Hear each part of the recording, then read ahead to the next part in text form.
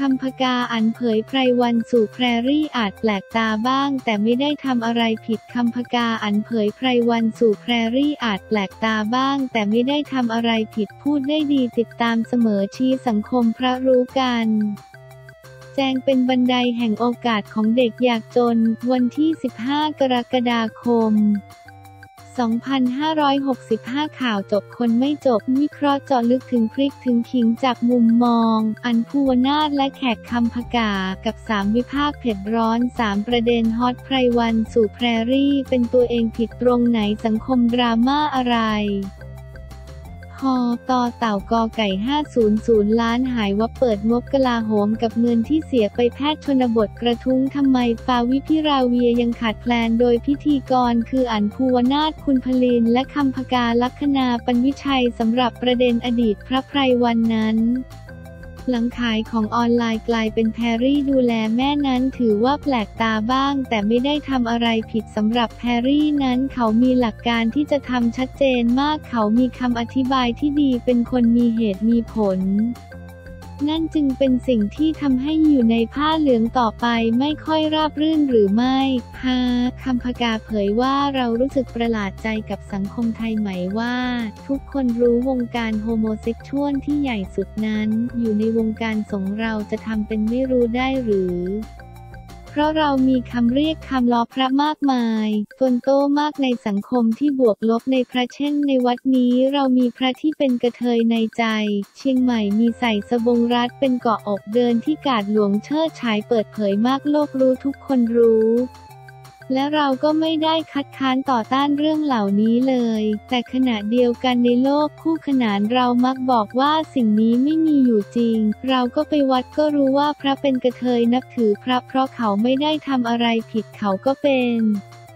มีกิจปฏิบัติที่เขาพึงจะมีในฐานะพระ และไม่ได้ก่อปัญหาให้ใครก็อยู่กันมาแบบนี้มาโดยตลอด แต่พอพูดเป็นทางการเราก็ไม่ยอมรับกับตัวเองว่าวงการสงฆ์มีเพศที่หลากหลาย ไม่เข้าใจว่าเราแยกโลกอุดมคติกับโลกที่เป็นความจริงได้อย่างไร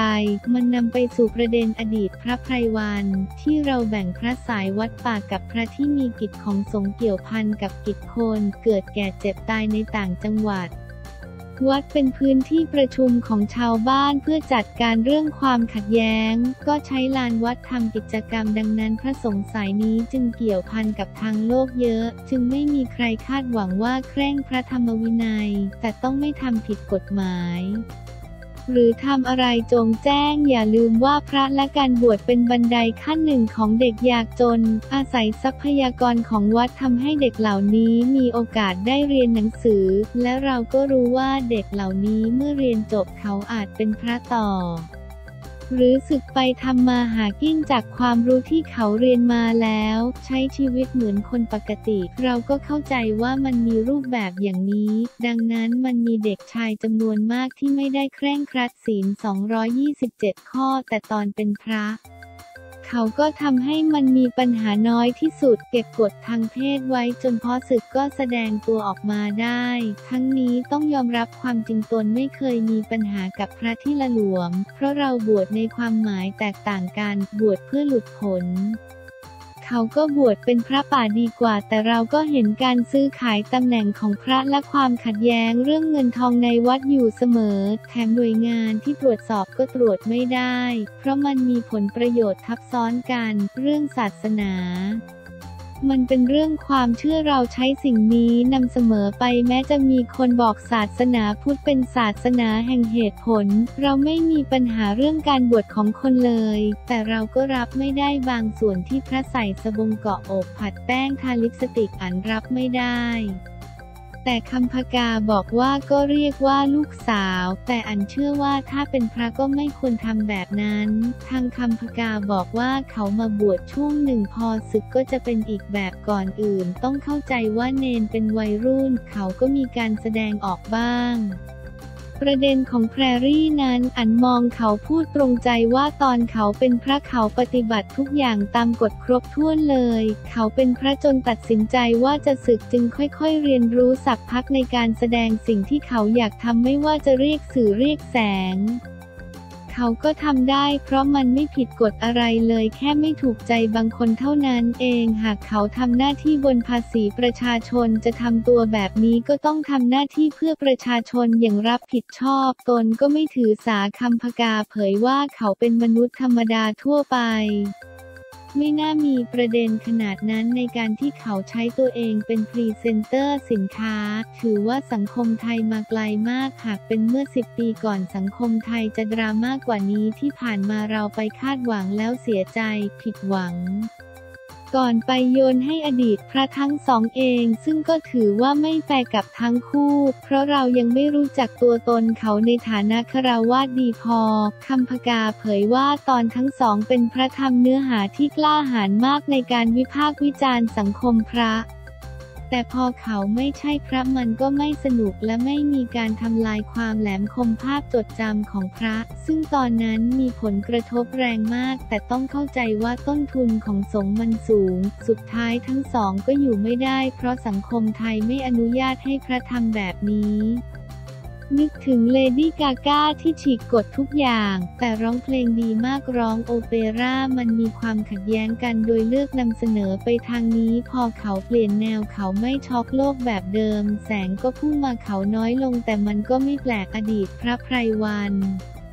เขาอาจแปลกตาไปบ้าง แต่ก็ไม่ได้ผิดอะไรเลย สิ่งที่เขาออกมาพูดทุกครั้งเนื้อหาตรงบ้างแรงบ้างหยาบบ้างนิดนิดพอให้แสบแสบแต่เราก็ได้ความรู้แทรกทุกครั้งจากสิ่งที่เขาพูด ซึ่งก็พูดได้ดีทุกครั้ง ขอให้น้ำพริกขายดิบขายดี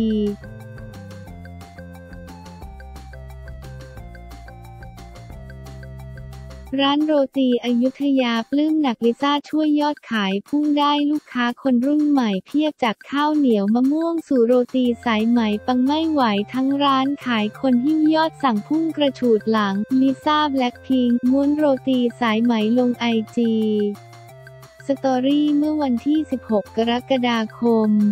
2565 ผู้สื่อข่าวรายงานว่าหลัง นางสาวลลิสามโนบาลหรือ ลิซ่าแบล็คพิงโพสต์ IG story ขณะกำลังกินโรตีสายไหมทำให้บรรยากาศร้านโรตีสายไหมบริเวณริมถนนอู่ทอง หน้าโรงพยาบาลพระนครศรีอยุธยาตำบลประตูชัย อำเภอพระนครศรีอยุธยา จังหวัดพระนครศรีอยุธยาที่จะมีนักท่องเที่ยวแห่ซื้อโรตีสายไหม ซึ่งเป็นของฝากขึ้นชื่อของจังหวัดพระนครศรีอยุธยา กันเป็นจำนวนมากนางสาวนุสรามีธนานอายุ 36 ปีเจ้าของร้านอาบีดีนประนอมแสงอรุณ เปิดเผยว่าหลังจากที่ลิซ่าได้มีการโพสต์โชว์การม้วนโรตีสายไหมทำให้มีลูกค้าเพิ่มมากขึ้นตั้งแต่เช้า ซึ่งก่อนหน้านี้ซบเซาเพราะโควิดลบ -19 ลูกค้าขาประจำและนักท่องเที่ยวไม่กล้าออกจากบ้านทำให้ขาดรายได้ไปมาก